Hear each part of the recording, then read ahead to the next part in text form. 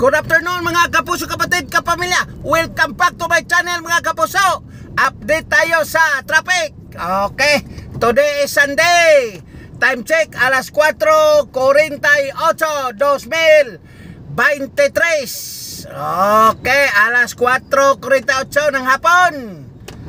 Okay mga kapuso, update tayo sa traffic. Nandito tayo sa IBP Road. Oh, IBP Road.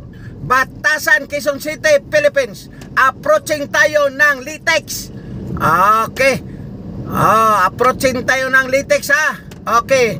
Wala pong traffic mga kapuso. Malinis po, malinis.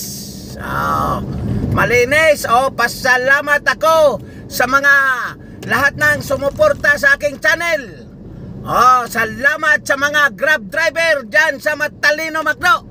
Maraming salamat po sa inyong suporta. Oh, maraming salamat sa mga taxi driver, Grab, ah, mga Bobet, Angkas.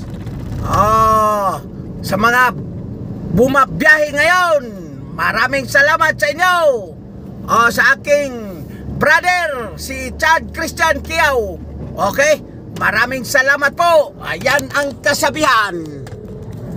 Hin walang kinikilingan. Serbisyo ay totoo lamang. Bye-bye.